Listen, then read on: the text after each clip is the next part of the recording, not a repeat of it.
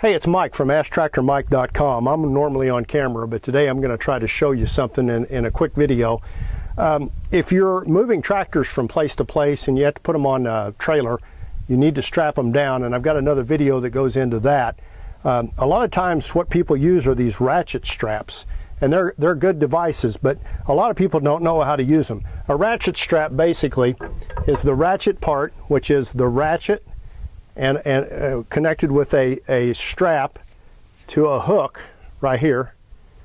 And the hook is going to go up around the weight carrier of the tractor and loop around itself. And, and that leaves me the ratchet right here.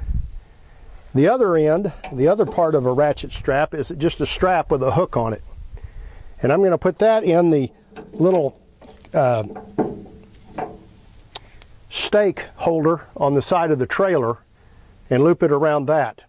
So now I have to I have to feed this strap through the ratchet.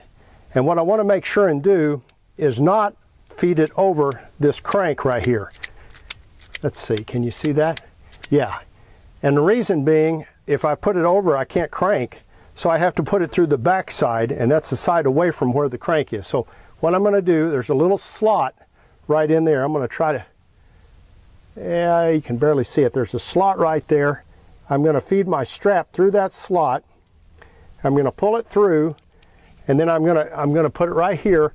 I'm going to put my thumb on both straps. The strap that's coming from the tractor with a hook on it, and the strap that's coming from the trailer with the uh, ratchet on it. And then I'm just going to start cranking this ratchet, and pretty soon the uh, strap gets on top of itself and gets tight. Now, to get out of it, what I'm going to do, there's a little release right here. I'm going to turn it over about two-thirds of the way and then click it the rest of the way and it comes loose. And then I can, after it's in that freewheeling position, I can pull my strap off and then I'm, I'm loose.